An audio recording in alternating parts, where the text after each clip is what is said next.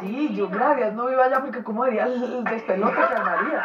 Pero sí se sentía ese, ese tema conservador, un poco eh, godo, como se llamaba en esa Por época. supuesto, Popayán es una ciudad, eh, en Cali, en Cali hay un dicho muy, muy triste, que es que el camino de, de Cali a Popayán son como dos siglos. Sí, exactamente. Realmente, pues es una ciudad con una gran cultura, eh, lo que quiere decir la Semana Santa, las procesiones, la tradición popayaneja es preciosa y tiene, y tiene cosas muy importantes y muy interesantes. Sin embargo, es una ciudad que se ha ido como quedando. Los artística. popayanejos se han ido. Eh, Es una ciudad artística, Alejandra, se respira. Es una ciudad artística, hay un, hay un eh, teatro precioso, el Teatro Municipal.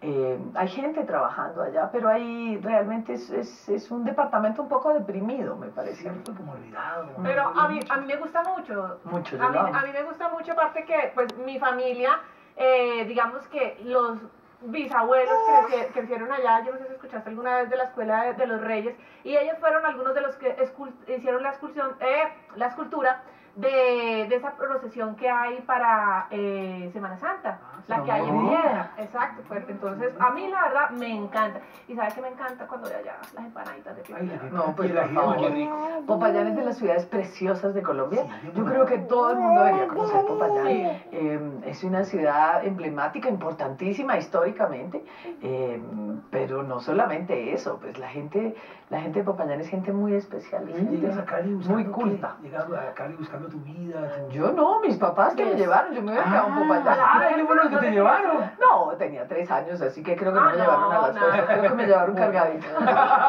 ¿Y, cuándo, te empezó a picar eh, el bicho de la actuación, no? Eh, ¿En Popayán o en Cali? Es que el maleo. Ay, Muy el poco. maleo. Realmente, realmente. Así es que pues, merecen estar. Pero me gusta que algún Golpea. alguien llegue a domarlo. Qué hombre, es que es una cosa muy Me horrorosa. encanta. Horrorosa, no, mi amor. Es que no has visto lo que hay aquí atrás. Es divino. Puro Recuerdo, corazón. Alejandra, el primer recuerdo que tengas de Cali de algo artístico, de algo que viste, que tú dijiste, wow, me llama la atención el teatro, la actuación. Vent, ver Vent en el Teatro Municipal, eh, actores, eh, Humberto Dorado, eh, un actor desaparecido maravilloso que ustedes ya no deben recordar, que era Jorge Emilio Salazar, haciendo una pieza Ah, Martín. impresionante que se llama Vent. Eh, recuerdo haberla visto y decir, wow, yo quiero, yo quiero producir esta magia. Sí. ¿Qué te llamó la atención? El, el espectáculo como tal. Pues el montaje era realmente un montaje muy impresionante. Es- Esto es una obra eh, enmarcada en la época de los nazis y tiene que ver con el homosexualismo y cómo encarcelaban a los homosexuales en esa época. Así que es una escena dolorosísima, pero preciosa, sobre el amor entre dos hombres. Te transmitía esa magia.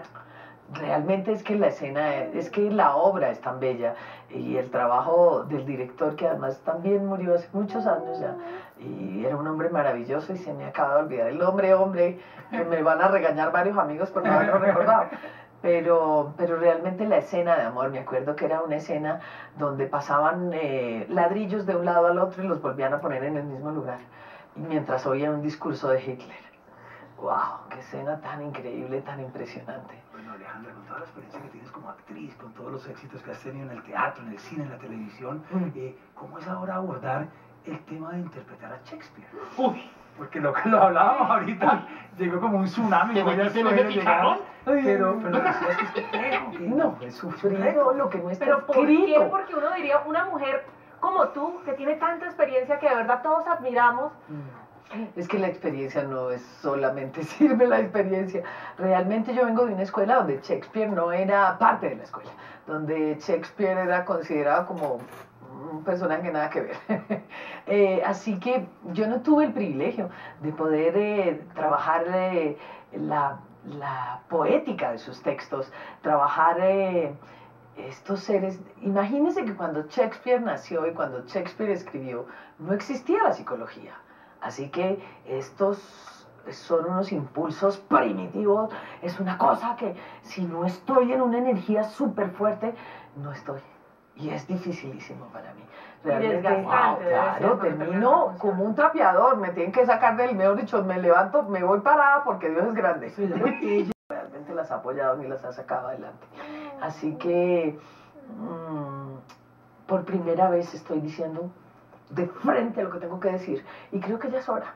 Creo que ya es hora de no dar tregua. La hora dice algo así como, esta vez les hicimos encerrona y no vinimos a reírnos.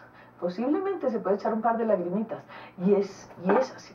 Creo que la hora genera una sensación muy fuerte de, es, digamos que el primer, este es el, remontamos y esta es la segunda temporada y en el primer montaje teníamos una escena que la habíamos trabajado como hacia la comedia, tratando de darle como un fresco a la obra. Bueno, ya, la quitamos. No, no vamos a darle ningún fresco a nadie. No, Esto es así, no, de no, frente a la cabeza. Cada 15 minutos en Colombia una mujer es violentada. No puede ser. Wow. Qué tristeza que nos tengan que educar, ¿no? Sí. Que el arte al servicio de esa educación. Mira, vamos con un tip más de cómo los seres humanos podemos ser buenos confidentes. ¿Cómo podemos guardar un secreto si nos pica la lengua? Y Sí, ¿Qué tenemos que hacer? pico, no anden diciendo los secretos de los demás. Y para eso, pues, sé leal. Nunca te conviertas en un hablador o un chismoso. Esto puede hacer que tus amigos piensen dos veces antes de revelarte Así algún secreto. Sí, Sí, sí. Cuando regresemos, mi querida Nati, en minutos de los famosos al día, noticias de Silvestre Estallón, entre otros. Mm.